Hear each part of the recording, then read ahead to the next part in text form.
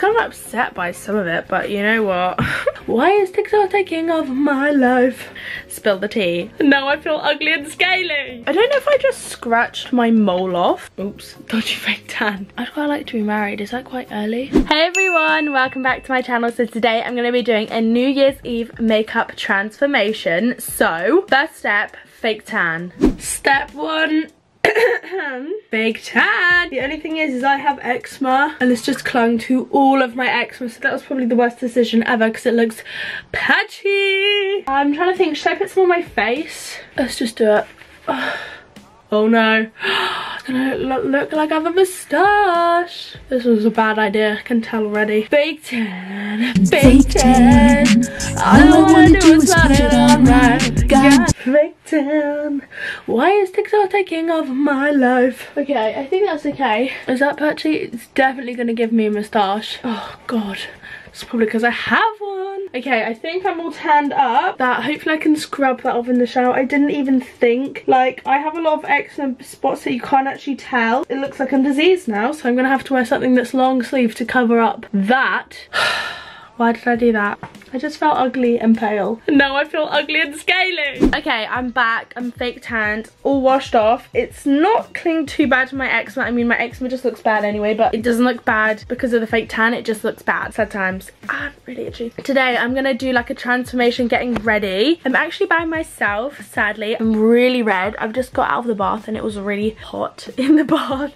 I have like burning hot water. Because I fake tanned I don't know I'm not that much more tanned but like I'm a different colour to what I normally am obviously. Do I need a different colour foundation? Probably. This is the Smashbox. Did I even put any on on that side? Smashbox photo finish primer. I got this in my Glossybox advent calendar. And I asked you guys for some questions and stuff like that. Definitely want to do some more get ready with me is like I used to do a couple with Lily or Lily and Alice and those were so fun. Getting ready to go. I've just not really gone out as much. Um, I went out of Lily recently. Yeah, I want to do that more because that was so fun. Okay, let's look through the questions. Firstly, I need to find a foundation that actually will fit me. Okay, I'm going to try this one. Okay, I'm actually going to really try with my makeup. I've kind of been getting more into makeup recently, so fingers crossed. Sorry, I don't know why this foundation's there. Okay, I'm going to be applying, applying. okay, I'm going to be using, this is the Zoeva Skin, or Wait, what? Lum Natural Luminous Foundation. I don't know. Is that going to be too dark? I can't tell in this lighting. I feel like it might be. I actually don't know. It's pitch black outside now, so you can always put concealer on. I always say this, but I washed my brushes for the first time in forever. But I think they're going to be wet. I stupidly did it this morning, like, worst timing ever. Some of them are wet, but I think I could use this one. It's like a tiny bit wet. Let's have a look. See if this will cover my red cheeks. Before anyone asks, I don't know where this brush is from. Sorry, it says Smith on it. Okay, I feel like this will work. I'm gonna get started with the question. So somebody asked, did your tattoo hurt? Yes, I did a whole video on it if you wanna check it out. But it didn't hurt enough to prevent me from getting another tattoo. Like I'm definitely gonna get a new tattoo in the new year. There was one that I really wanted. I think I mentioned it like a moon. Actually, Evie and I both wanted the same one. So we're gonna go together. But now I'm worried like, firstly I'm worried, is this too dark? but now I'm worried like, my mum was like, mm, saying it would look like a banana. so she's stressed me out a little bit about it. But I definitely want something written by my mum. Where's my foundation gone? Or whoever in my family has nice handwriting. But I'll like talk about that when I get it, I guess. But somewhere like here or something, because that's something I've also wanted for ages. But to be honest, although I've got like tattoo fever or whatever, like when like I feel like I'm addicted, I'm not gonna rush to get any because, you know, tattoos obviously very permanent and like I don't want to get something and then get over it in like a month because that would not be good.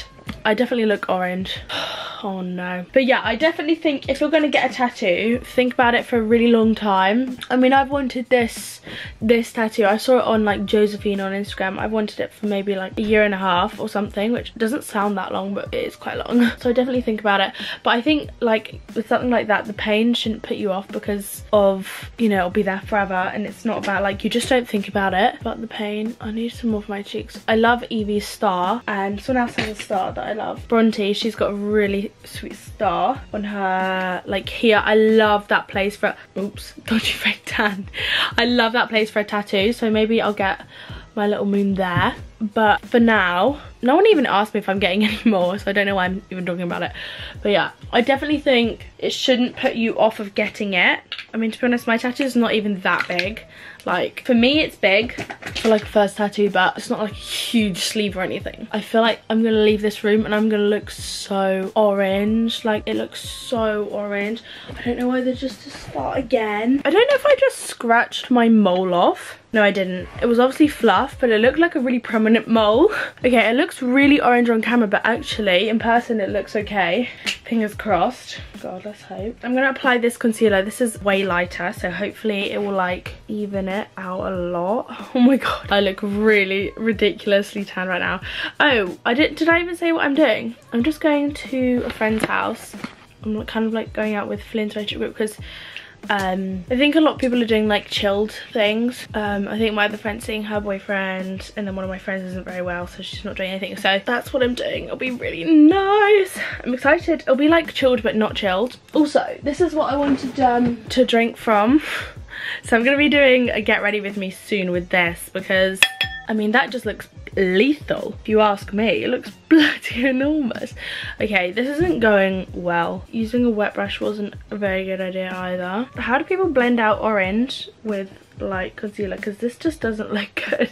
Okay it's fine. It's not like i'm going like i don't know to the, oh my god it looks awful. It's not like i'm going like clubbing or anything so it's fine. Kind of wish i was clubbing but also the clubs are like 30 pound a ticket. Like that's the most ridiculous thing i've ever heard in my life. Okay this just doesn't look good but we're gonna move on and we're gonna do eyeshadow because i just don't think i'm gonna perfect this i don't know what i'm wearing so i should probably like sort that out before i do my colored eyeshadow but whatever. I'm probably gonna just do like brown. Oh, this is my favorite palette ever. This is revolution um precious stone rose quartz. I don't know if that's the name but i am obsessed. When i go out clubbing i wear either this shade this shade this shade or this shade and they look insane on your eyes. Really good. Although i have literally like zero eyeshadow brushes that are dry so that is great. I don't even know what i'm gonna what am i doing? I don't know probably just like a smoky browns I guess. I might wear like a re red lace bodysuit probably. So something really not too crazy. Maybe some lashes you know if I'm feeling crazy. Also I can't be asked. Thing is, is I want to dress up. Also it's at a house so it's like I'm not going to be wearing like a you know lace dress or something. And I also don't dress up that much when I go out anyway. I just wear like a bodysuit and jeans. Because where I live like you don't go you know crazy. Why is it shimmery Oh, this brush. I used something shimmery on it the other day. Okay, then I'm gonna add some, this, I don't even know. It's the shade Brownie. Hmm. I'm gonna have really bad fallout, but I haven't finished. I'm gonna add more concealer later. I just want my concealer like to set. Am I the only one that does that? Usually to avoid fallout, I'll put like my bake on and then I'll wipe it off from my bake. Okay, so you kind of put the base. Okay, let's find another question whilst I poke my actual eyeball out. Somebody said, what are you most proud of from this year? I like that question because I don't think I give myself very much credit. um, I'm actually really proud of my A-level results because I really struggled. I didn't get like all A stars. I didn't get any A stars. But like I really hated college, really struggled with it and I like I think I got an A and two Bs which I was really happy with so I feel like that's a big achievement for me to be honest to survive that and actually do okay. Something that me and Evie have been working on, I keep talking about it, it's going to come out and hopefully in February. You guys will find out but it's like probably the coolest thing I've done. When I went to LA that was so cool because we got like flown out. I've got hair and I did I did a press junket and we got flown out to do it which is like really really cool. And it was super like last minute. Um I didn't know until like the week before which was probably one of the coolest things I've done to be honest. I'm trying to think about like personal life too. I think I don't want to cry. I think like being I don't know. I think like one thing is reaching out for help and stuff as well. That's like a big thing that I've learned. I don't know. I don't want to talk about it How do you find things with friends after A-levels when they're in uni? This is interesting. Spill the tea. No, there's no tea. Different. I don't know. I think I was talking to my mum about it and she said like worded really well that like when you go to uni you have to go and like set up your whole new life and like make new friends and like you know you're like living there for three years. So you're not going to be as you know in I keep saying you know you're not going to be as focused on people at home which is obviously okay. I definitely learned who I don't know who cares who's real who makes an effort and who doesn't as much and who doesn't prioritize as much. It's kind of upset by some of it, but you know what? I think it's just, I think you need like, hello? Hello? Hello? Hello? Hello? Hello? Hello, it's me, you Shadi. Okay, I'm back. Sorry, Flynn called me about like getting drink and I realised what I was saying wasn't making any sense. So I think, let me start again. When you go to uni, like your priorities change. Obviously, you prioritise making new friends and making new like a new life. Do you know what I mean? So I think it's partly expected to not stay in contact. I, I mean, like if it's your bestie, then obviously you're gonna stay in contact. But I think it's kind of expected. And I think I've definitely learned it's like a two-way thing like if someone's not putting effort in then you can't be a beg you know what i mean? There's only so many times you can ask you know. You know what i mean? So you kind of got to learn when the point is like oh, okay they're not bothered then i'm just gonna leave it for a bit. And that's like okay that that comes with life. Like you're not always gonna be best friends with everyone your whole life even if you think you are. I think now is like a really good time to learn who you're gonna stay friends with for a really long time. And i feel like i have seen that now which is actually a nice thing because it makes me realize like the people I have that like, not that I didn't think that I'd be close with forever, but like I've got a lot closer to other friends, which is really nice. And yeah, I don't know. I guess it's just, I've only visited the boys at uni and I had the best time doing that. But, um, oh, and I visited Amy, but not like properly, just like for a day. I'm gonna put some eyeliner on. But yeah, that wasn't meaning to sound like really sad. I just think obviously people's priorities change, friendships change. I guess it's just life. Oh, someone said something really nice. It's gonna make me cry. Somebody said my goal for you is for you to learn to love every piece of yourself. What the I have such nice, like, I chat to so many of you the whole time and I don't even know what I'd do to deserve you. Like, I meet you guys on a night out. They're these two girls especially and I met them when we were out and I don't know if they'll be watching this. I can't remember the girl's name. Ophelia, I think was her name.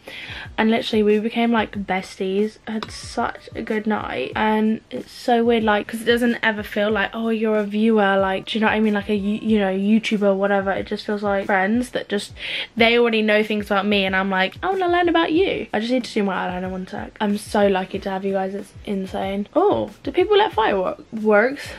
fireworks off on New Year's Eve? The poor dogs. Ava's fine with it, but I know lots of dogs are terrified of fireworks. I mean, and other animals for that matter. Okay, that doesn't look very good, but we move. I'm hoping by the time I put like eyebrows, concealer, smoke it out, it will look better. But right now it looks disgusting. Like, should I put foundation, um, what's it called? Eyelashes on? The only thing I have in my room to wet my beauty blender is Malibu.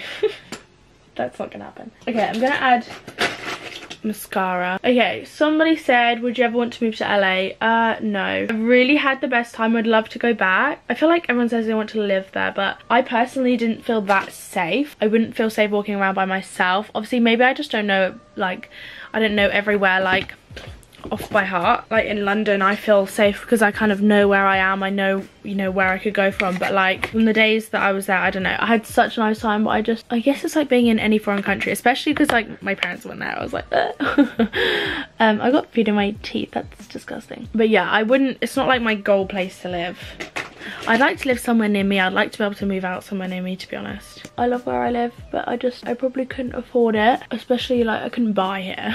Rent, it's just like, oh, God, it's a lot of money. But I'm not going to be moving out for another like, couple years, I reckon. I'm 18 now, 19 next year. Maybe when I'm 20. I mean, my main goal now is just to save as much as possible. Take this opportunity and then when I, you know, I might decide that I want to travel the world or something and to be able to have those funds or that I want to move out or like, I don't know, have a child or, and to have those funds to be able to do that is what my goal is.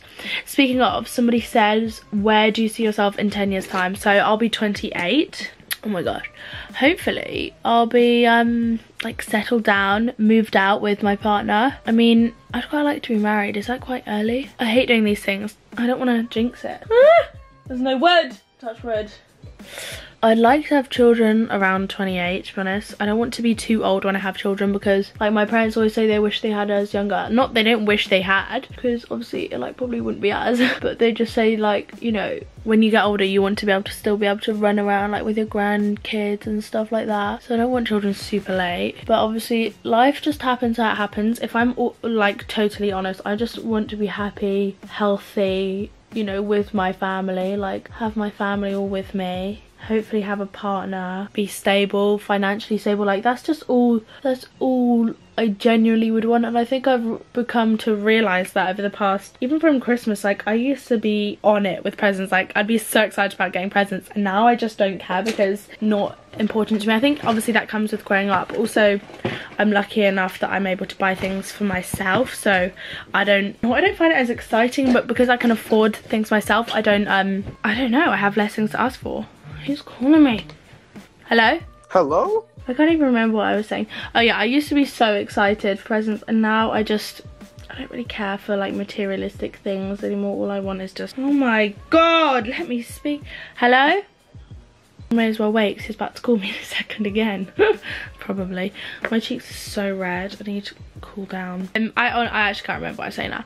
Yeah, materialistic things, they don't faze me as much as they used to. Not that even I was materialistic, like not actually Gucci, all of that stuff but having loads of just clothes and I used to just buy just so much it so much. And now I mean I, will buy like what have I bought recently? I bought a hoodie like a month ago so I needed a big hoodie. I generally I don't buy like clothes and stuff like that anymore. I just don't I mean I love clothes but I just don't I'm always like can I justify spending this much on a top? Um I'm going to make pizza. BRB Okay, I'm back. Why have I got concealer lips? I'm gonna have to like keep running up and down because they're not ready for me to make my pizza yet. And my face looks disgusting. I need to sort this out. You know when your makeup just goes so gross, like why is it so disgusting? It's like the one time of the year I actually want to look nice. Actually no, I don't get that much, but still. Actually went and wet my beauty blender for once. Why is it looking so white underneath my eyes? Maybe I'm gonna need to do some like cream contour. Honestly, I give up on this makeup. Oh god. What is that? Oh my god, it's a effing spot under my eye. Maybe I should just do my foundation again. Damn it! What the hell is that? What the hell are we gonna do? Okay, I'm gonna be back. Okay, I'm sorry that that was a mega fail. This is my finished look. I feel like the lips are a little bit 2000s. But I was stressing out so this is the look. Yay that was so stressful. I decided not to add extra foundation or like start again. I just blended it out put powder on and chilled out because it's really not deep. Oh no i wanted to use these. I got these out to use these highlighters I think I'm gonna have to share them with my mum because she's gonna be well gel. But I want to use, I mean I don't need blush because I'm so, I get such pink cheeks. But these are from La, Laura Mercier. I really want to use. This is from Christmas, Cheek Canvas Delicate Cheek Palette. I'm just gonna mix all the blush shades because frick it. I love like a sheeny blush. I mean to be honest, I bring my highlighter like quite far down probably shouldn't but don't care. Okay that was way too much. This is it. I hope you guys did enjoy and happy new damn year. Bye